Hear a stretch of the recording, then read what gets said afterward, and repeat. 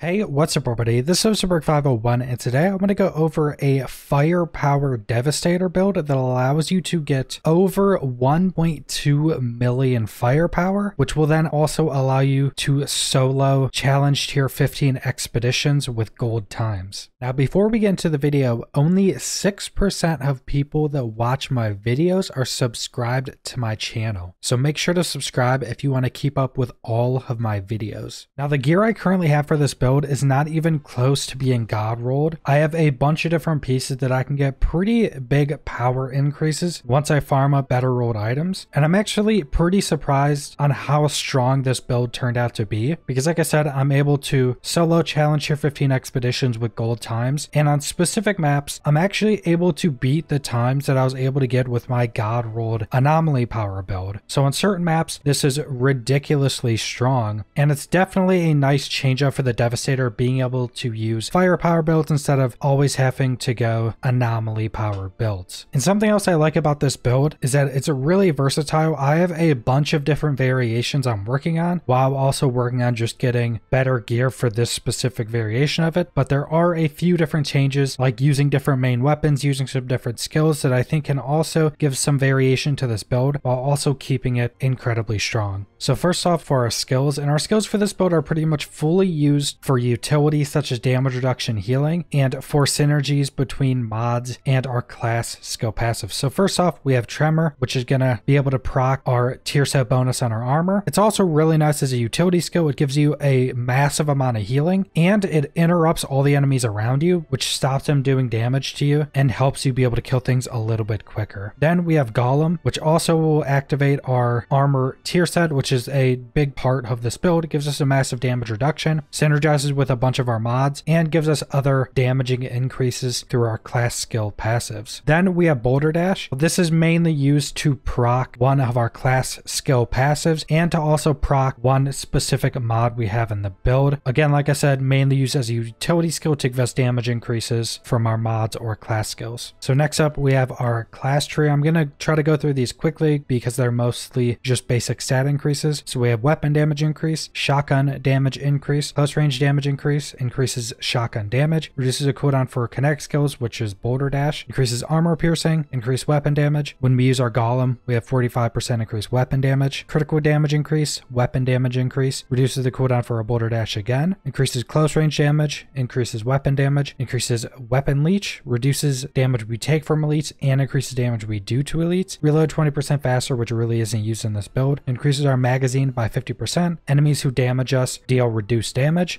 increase our weapon leech. And then when we use our boulder dash, we gain a 70% weapon damage increase when that skill ends, which is absolutely massive. One of the main reasons we are using boulder dash. So next up, we have our weapons and we're pretty much only using one weapon and that is going to be the bulwark. Now, like I said, I'm working on other variations of this build and those other variations are using different main weapons, but this one is working pretty well. And like I said, will allow you to do challenge tier 15 expeditions with gold times. And the reason we're using this is because because it comes with the mod that inflicts bleed with a one second cooldown, and that's synergized with a lot of the other mods we're using. And then we put killing spree on this. This is one of the main mods for weapons for this build. Gives us a stacking 25% damage increase that stacks up three times. It'll pretty much be up 100% of the time. And this is where a massive chunk of our damage comes in. So you'll notice your first couple kills are a little bit slower. Once you have this stacked up, your damage will just be ridiculously high. So then we have our armor pieces and and for our attribute priority, we're going to be going bonus firepower, close range damage, then cooldown reduction. Now with using a tier set bonus and with this specific tier set, a lot of the items you're not going to be able to get God rolled attributes. A lot of them you're not even going to be able to get well rolled attributes, but we're using a specific tier set bonus. So you don't have to worry too much about getting God rolled attributes with this specific build. So the tier set bonus we're going to be using is for the statue set. When you use Tremor or Golem, you get 100% increased firepower and weapon leech. And if you say use Golem and then have mods or other effects that increase the duration of Golem, you will keep the bonuses of this tier set. So this is one of the big parts of this build because this gives us just that massive survivability and damage increase. So first off, for our helm for the set has bonus firepower, skill life leech, cooldown reduction, decent stats. It comes with perseverance, which increases the duration of Golem by 100%. That's a very important mod for this build to keep keep up Golem much more frequently. And then the other mod I have rolled on this comes on a headpiece and it actually comes on Tanner's hat as you can see here, which is actually pretty easy to get if you go do the monster hunt farms that can give you legendary armor pieces. It's a generic piece so you'll get it a lot more through that. And this increases your firepower by over 10,000 for every enemy in close range up to five times. So that's just a massive firepower increase. And with our tier set bonus and some other mods increasing percentage of our firepower, this will also be increased more as those start to stack with each other. So next up we have our chest piece, statue's torso, bonus fire, power, skill life leech, cooldown reduction, decent stats, but not the best again. This is one of the pieces that I'm definitely going to want to change. I'm going to want to get a epic piece in the slot with perfect attribute rolls, perfect mod rolls, and then most likely either get gloves or legs and change up my build a little bit when I can get some better rolls than that because the first mod for this is Tremor gives your allies a 40% weapon damage bonus for 8 seconds. Now, I'm pretty certain that this doesn't actually work for yourself. It only works for your allies, which is pretty much just a dead mod slot, which is another reason that I want to get a different piece in this slot. Now I have a sharp eye roll on this, which comes from another legendary helmet. I forget which one. And this gives us a stacking firepower buff when killing enemies while aiming down sights. Last 20 seconds stacks up to three times. It'll pretty much be up 100% of the time once you kill a few enemies. And this is just another massive firepower increase. And like I said, these are giving just a base firepower increase, so not a percentage. And then that's just going to be increasing more as it stacks together with our percentage firepower increases. Next up, we have our death proof leg armor. Now the main reason I'm using these is because the stat rolls are decent. Bonus firepower, close range damage, healing received. Decent, but not god rolled. And then the tier 3 mod on this is another big reason we're using Boulder Dash. Now I could get a decent upgrade for this by getting an epic piece that has Bloodlust on it, which I have rolled on it. Then I can roll my tier 3 mod for Boulder Dash onto that, and we can get a much better rolled epic piece and still have both our mods. Like I said, most of this build isn't actually god rolled armor pieces, but still incredibly strong. So the tier 3 for this is every enemy damaged by Boulder Dash increase your weapon damage by 15% for 10 seconds, stacks up to 5 times. So this is a big reason we're using Boulder Dash, and this is also another reason why cooldown reduction is really important for this, because we want a Boulder Dash to get to the lowest possible cooldown we can get it, and ideally we want Boulder Dash to be at a 10 second cooldown, because then we'll be able to have this tier 3 mod up 100% of the time, and we'll also be able to have our Alter Charge here, which gives us 70% weapon damage increase for 10 seconds. We'll be able to have that up 100% of the time. Now, my Boulder Dash is currently at 12.5 seconds, and I'll easily be able to get that if I get one or two upgrades, and then I fully increase my stats on all of my items and fully upgrade the cooldown reduction attributes on them. So I'm not too far away from that, but that's what you want to try to be going for. Then I have Bloodlust rolled on this, which killing shots increase our firepower by 17,000, stacks up three times, will be up a majority of the time for just a massive firepower increase. Next up, we have our gloves. Bonus firepower, close range damage, cooldown reduction, God rolled attributes. But the first mod on this is something I think I could get a decent increase if I can get a item with a better mod. This first mod still gives us a decent buff for our build, but I think I could get better. The first mod just increased our boulder dash by a little over 100,000 damage.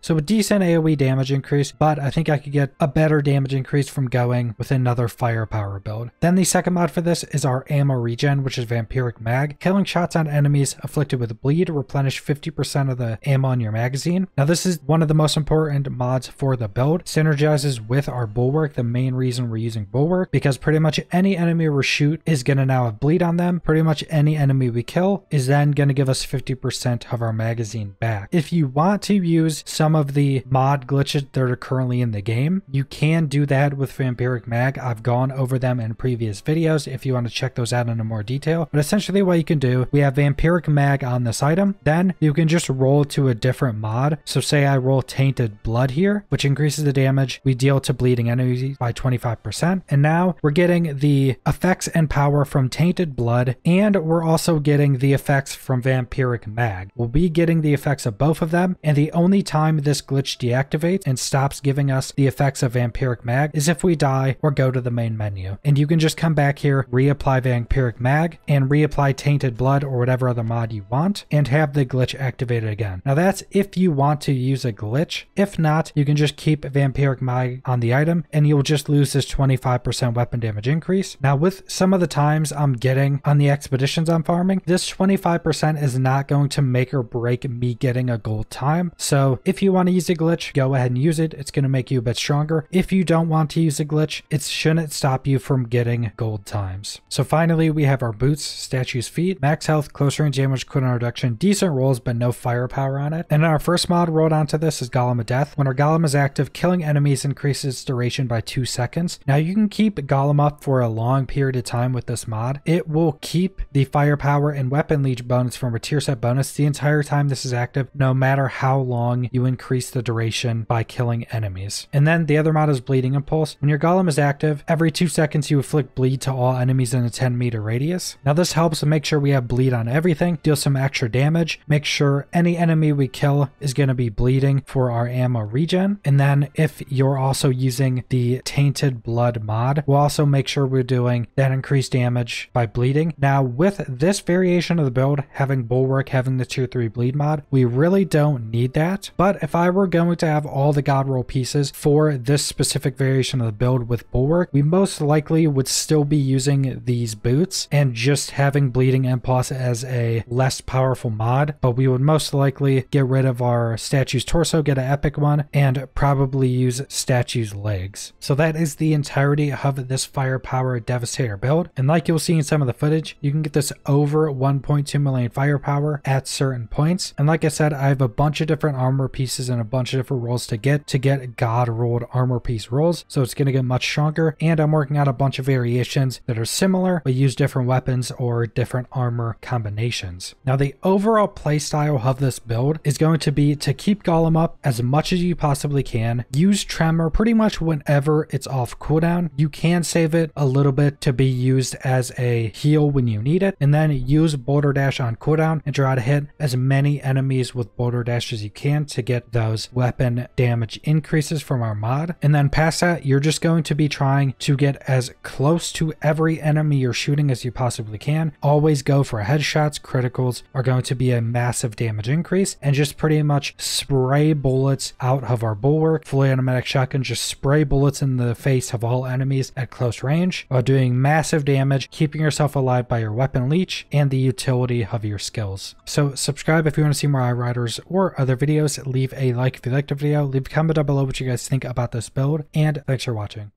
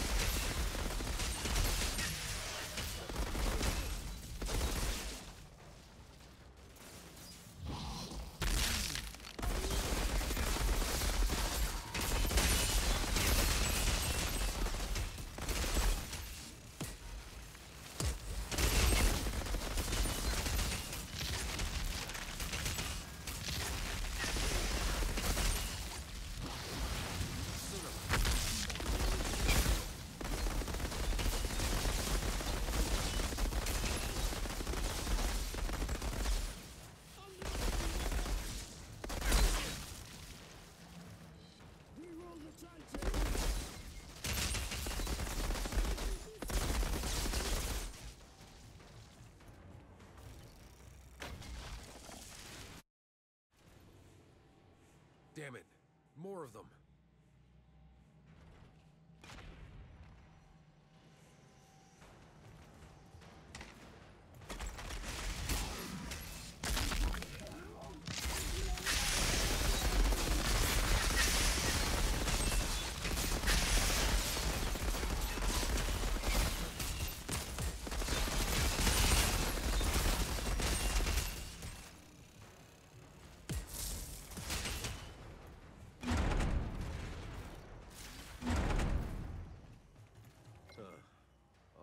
I'm missing is some elevator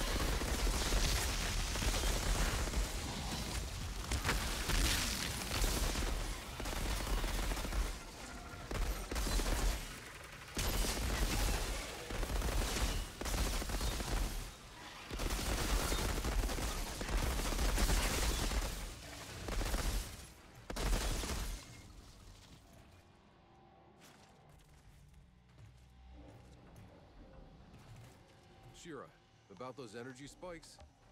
The insurgents had a functioning power cell down here. What did you do with it? It's disabled. I'll see if Zahedi can't take a look at it. And found a pod down here. You saved some lives today, Outrider. I would expect nothing less from you.